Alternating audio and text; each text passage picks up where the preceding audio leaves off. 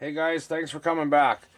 So today I'm going to show a demonstration on how I make replacement snares for the power ram. This isn't for free hanging neck snares, it's just the power ram. So first foremost the cable. So the cable is 1 by 7 3 64ths and I cut it at 47 inches long. These are the other components you're going to need. You're going to need heat treated nut. It's like an eighth inch nut, a little washer, a 1 16th ferrule for your breakaway. This is also the breakaway on this snare. And then a 332nd uh, stop, single stop. So first what you want to do is all your cable is always going to have uh, a memory to it. It's going to lay a certain way so you want to let it lay naturally. Doesn't matter which end you go to.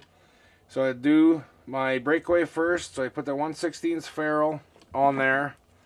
And then I'll go back about an inch from the end and make a 90 degree bend. And then just loop my ferrule through there, making sure to leave a tag end. So then I'll take it to the press. It doesn't take much to, to crush these, but I do it uh, twice. So I'll go there and I'll go there. So this one has to be a, a 1 16th ferrule. It can't be any heavier because that is the actual breakaway to make this snare legal. So now you can make your loop and you can see that's perpendicular to your snare wire. Because otherwise if I didn't uh, bend it 90 degrees, it would be twisted.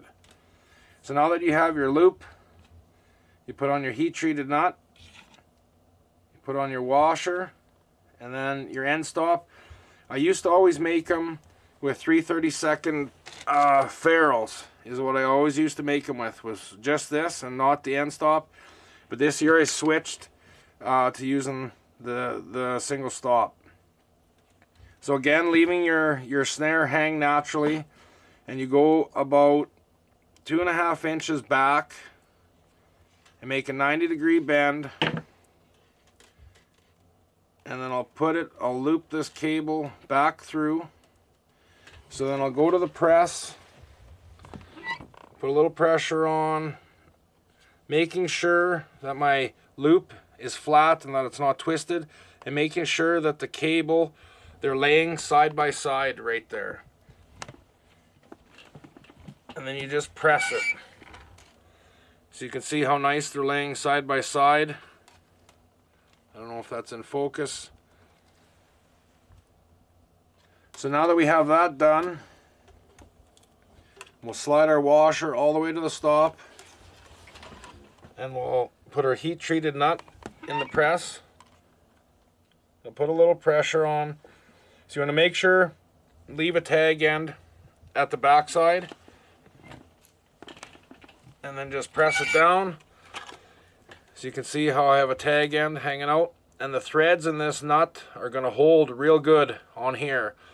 Because this is where your trigger of your power ram is going to sit, is against that washer. So you got to make sure that that's good and tight because you need that to hold. So then what I do is I see a lot of guys using support wires and what they do is they just tie them to the power ram. I personally don't do that. What I do is I put my support wire right on the snare itself. So what I do, this part's kind of important. You just make a little hook and you just hook it through. Because if you don't make your, your hook and wrap it now, um, your support wire or your snare is going to just spin on your wire. So then you can go one or two loops around. You make your little bridge. I'll get that washer out of there and then I just put a pliers on it and hold it, make my wraps. This way when that power ram or the ram arm fires, I don't have to worry about it getting hung up or caught up at all in any of my support wires. It'll just slide right down here. You can even just taper it to the front a little bit.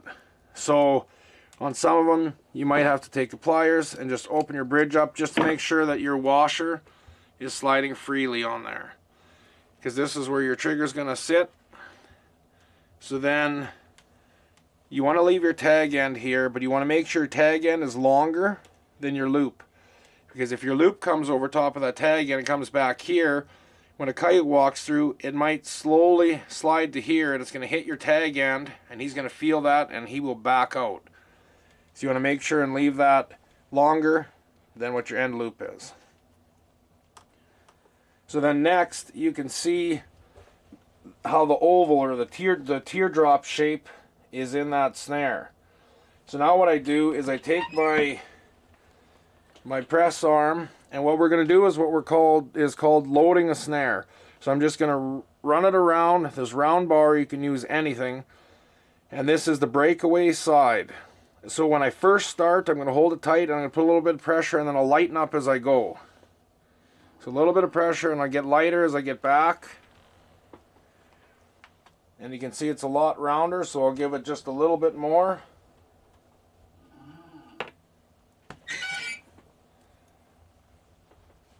And you can see how much rounder that snare is.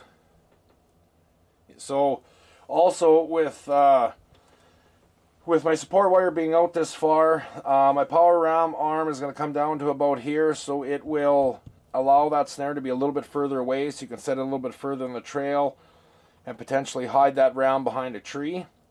So now that the snare is complete, um, the, the snare wire is new. This is just stovepipe wire. So it's got machine oil and grease and stuff on it. So what I'll do next is I'm going to boil it uh, in baking soda. I'll boil all my snares in baking soda. It'll take the shine off of this. It'll take the oil and grease off of that metal. And traditionally I just let them dry and that's how I've always hung them. But what got, some guys will do as a next step is they'll dip them or they'll run them in uh, full metal jacket. And this year I think I'm going to do a couple dozen snares. I'm actually going to um, dip them. After I boil them, I'll dip them in full metal jacket and see if it makes any kind of difference. I'm not sure if it will or not. I've never ever tried it.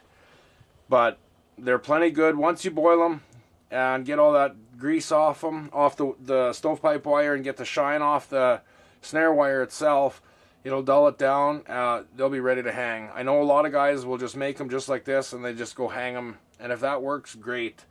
Um, I don't, but so I just thought to make a quick video and just kind of show you guys how to make a replacement snare uh, for your power that